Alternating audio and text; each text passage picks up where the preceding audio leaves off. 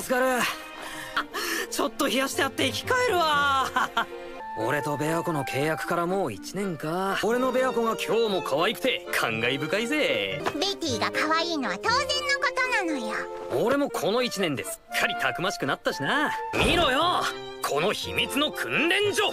パーフェクトにクリアできるようになったんだぜ。だいたい秘密の訓練所なんて言ってるのはスバルとガーフィールの2人だけかしら。のベアトリスちゃんがご一緒してほしいって。俺を呼ぶ可愛いエミリアタ面倒が舞い込むパターンに違いないかしら。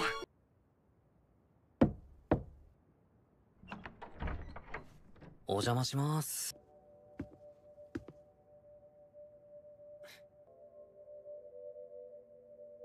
レム